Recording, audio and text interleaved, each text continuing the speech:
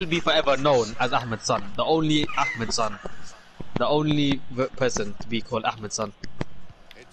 Oh, what a goal! Fuck off, mate. Vinny, how's your saying, man? Which Whichever bitch is freaking doing the music? he's gonna mess up the clip. I swear he beat you before me. Hmm? Nah, it's fine. Hey, well really done,